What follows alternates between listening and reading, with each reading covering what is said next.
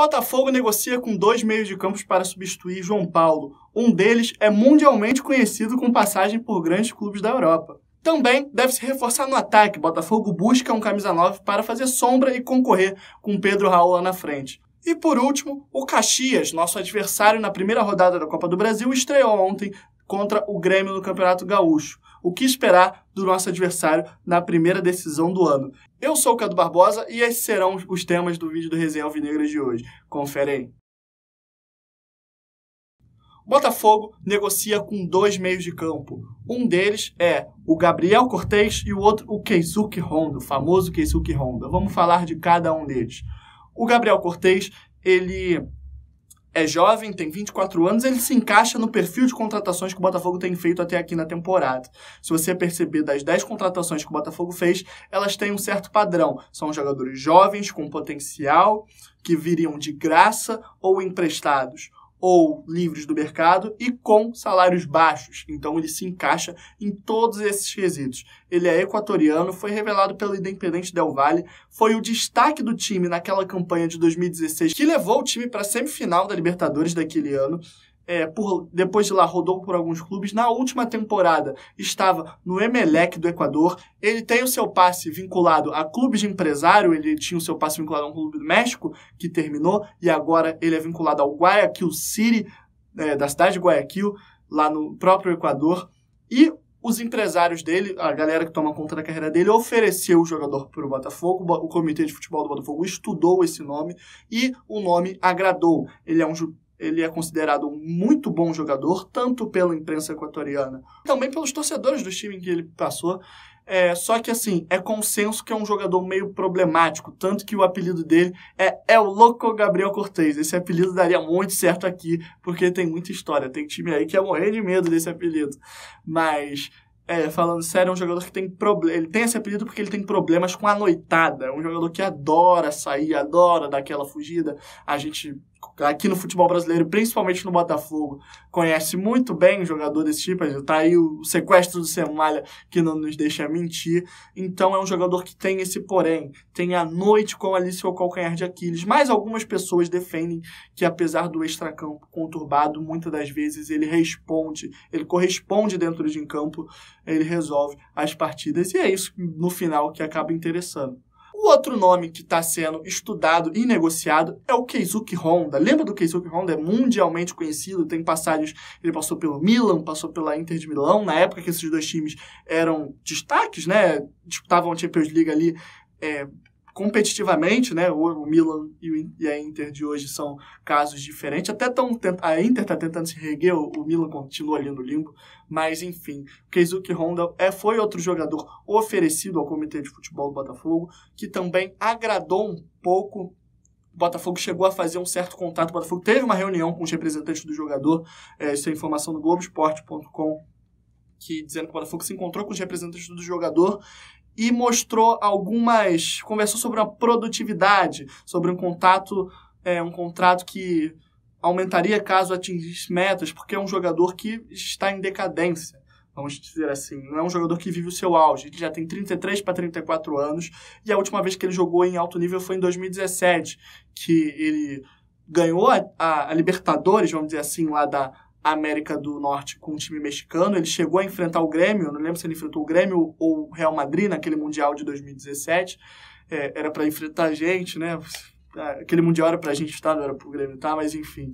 É, foi a última aparição ele ali em jogando num futebol minimamente competitivo, foi quando ele jogou no México. De lá, de, de lá para cá, ele passou, ele saiu do México foi para Austrália, a Austrália que é um campeonato completamente amador. Você joga com, sei lá, o goleiro do outro time. De dia ele é goleiro e de noite ele é marceneiro. As pessoas, muitos jogadores têm profissões paralelas. É um futebol que não, tá se não é desenvolvido ainda, é um futebol semi-amador. Então não tem como levar muito em consideração a participação dele por lá. Ele fez só 24 jogos na né, temporada 18, 19. Marcou 4 gols, marcou 8 gols, desculpa mas não tem como levar muito em consideração. Aí ele contrato dele com o time australiano terminou, ele ficou livre no mercado e ficou seis meses procurando emprego. é, surgiram os tweets antigos dele hoje, porque no Twitter ele pedia oportunidade, ele dizia coisas do tipo: Eu ainda sou um dos melhores jogadores do futebol asiático, confiem no meu futebol, podem me contratar. Ele mandou até mensagens diretas para clubes, ele mandou mensagem para o Manchester United pedindo uma oportunidade, pedindo que ele pudesse passar pela Europa de novo antes de se aposentar. E ele meio que conseguiu. Seis meses depois, pedindo uma oportunidade, ele ganhou uma oportunidade de um clube europeu, só que no pequeno Vitesse da Holanda. E não fez muito sucesso por lá. Disputou apenas quatro partidas, não rendeu o esperado, e em comum acordo com o clube, é, decidiram reincidir um contrato. Agora vamos dar a nossa opinião sobre essas duas probabilidades. Só um deles virá, porque não é uma contratação para, assim, para encher o elenco, para fortalecer o elenco, não. É uma apenas uma contratação para repor. O Botafogo só deve fazer contratações desse tipo daqui para frente. É, então ele vai, vai chegar um desses dois jogadores, ou se não derem certo, vai chegar um outro jogador para essa posição só para repor o lugar, a vaga deixada pelo João Paulo. E assim, o Gabriel Cortez é um jogador que, pelo futebol, pelo menos pelas pouco que eu vi, agrada um pouco mais. É um jogador mais novo, é um jogador com potencial. Mas me preocupa, porque se ele consegue fazer a festa no Equador, imagina no Brasil, no Rio de Janeiro, jogando no Botafogo. Então, é uma questão a se preocupar. Será que ele vai conseguir render o esperado? Será que ele vai conseguir se manter focado? Eu acho muito difícil. Porque se ele se perder no Equador, meu filho, o Rio de Janeiro é. Enfim. e o Honda é um jogador que está em final de carreira. A gente não sabe se fisicamente ele vai aguentar, a gente não sabe se ele vai conseguir entrar num ritmo alto, um ritmo é, um ritmo mais forte de futebol, né? Um ritmo mais profissional. A gente não sabe se ele vai conseguir voltar a jogar em alto nível. É uma contratação um pouco arriscada, mas porém o Honda ainda tem é, uma questão de que ele é um jogador mundialmente conhecido. E o Botafogo, nenhum time sul-americano tem uma imagem forte na Ásia.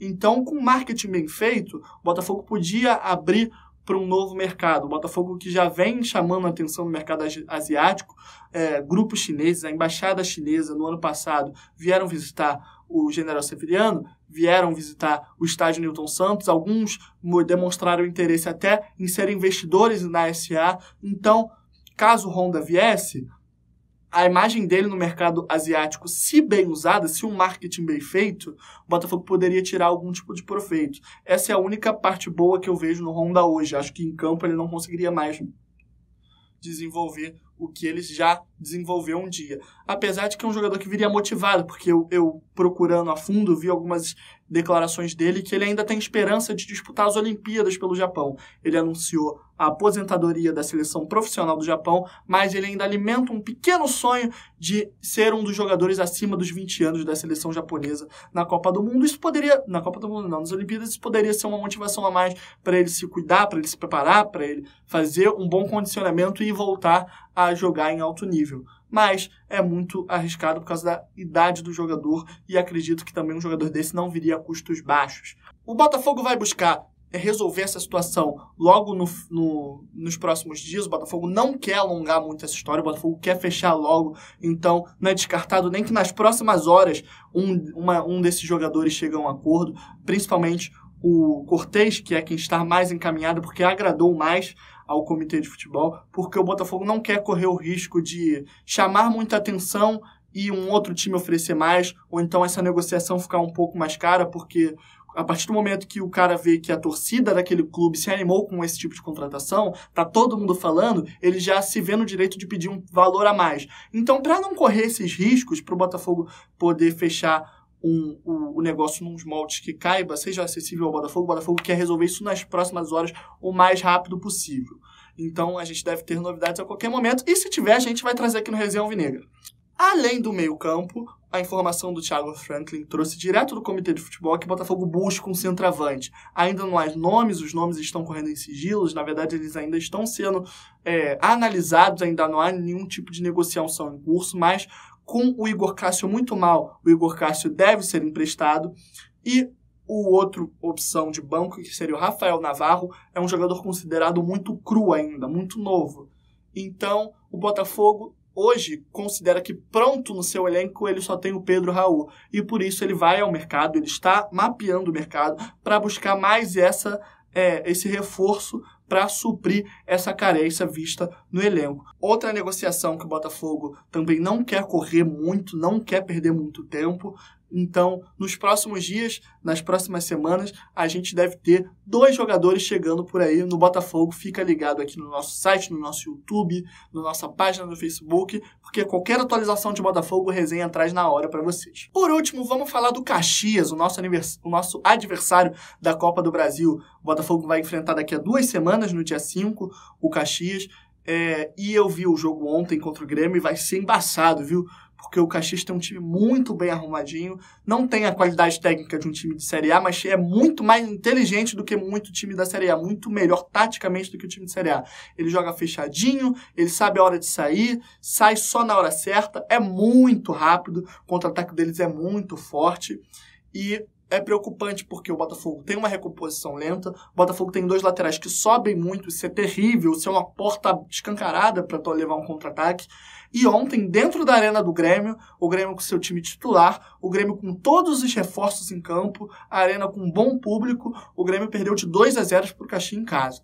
Então é um jogo que a gente ainda vai falar muito até que ele chegue, mas é um jogo para a gente abrir o olho, não vai ser essa moleza. É, vale lembrar que a gente foi eliminado no ano passado pelo rival do Caxias, que foi o Juventude, e o Juventude não ganha um clássico do Caxias há cinco anos.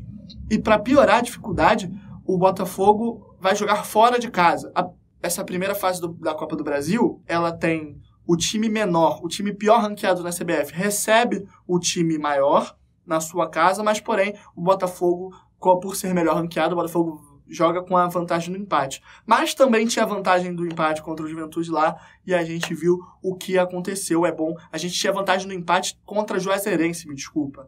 Contra a Juazeirense, que era um time três vezes pior que o Caxias, e a gente viu o que aconteceu. É bom o Botafogo se preparar, é bom os titulares entrarem em forma. Tem três jogos, a gente vai enfrentar o Macaé, o Resende e o Vasco antes de enfrentar o Caxias. O Botafogo precisa chegar preparado para esse jogo, porque se do jeito que a carruagem, se o jogo fosse hoje, eu apostaria no Caxias, viu? Do jeito que a, que a carruagem está andando. É, mas vamos torcer. Vamos torcer, porque a gente precisa, principalmente, a gente precisa nem ser campeão da Copa do Brasil. A gente precisa recolher o máximo de dinheiro da Copa do Brasil, que é a competição que mais paga, e dinheiro hoje é o que a gente precisa. E é isso. Esses foram os jogos de hoje, esses foram os assuntos mais importantes do dia. A gente vai buscar trazer vídeo todos os dias, trazendo aqui um compilado dos assuntos mais importantes. Fica ligado aqui no Resenha Alvinegra, se inscreve no nosso canal e ativa o sininho aqui do YouTube, que aí sempre que sair o nosso vídeo, você vai ficar ligado dos principais assuntos do Botafogo. Então é isso. Ajuda a gente a chegar a mil inscritos. Deixa o teu like aqui. Se tu estiver vendo no, no Facebook, dá uma curtida, dá uma compartilhada.